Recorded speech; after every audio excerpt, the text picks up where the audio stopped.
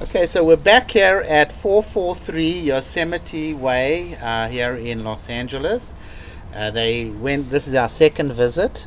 Uh, they went ahead and cleared this line over here. This is for the back house where we ran the camera from this little deck. You can see we flushed the toilet over there. Obviously, you can see the water coming by. I better go check, make sure the toilet's not running. But it seems like it's going into this big tank or whatever this is over here. Um, who knows? This is not really connected to anything. And that's, you can see, it goes pretty much, I don't know what it's going into, a big hole in the ground or whatever.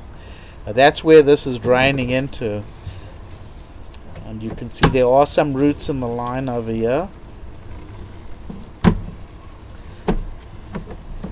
No doubt about that. That's probably what was blocking it the other day that we couldn't see.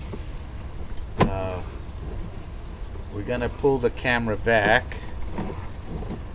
And uh, obviously, I don't think this unit back here is a legal unit, so obviously, it's all bootlegged in there.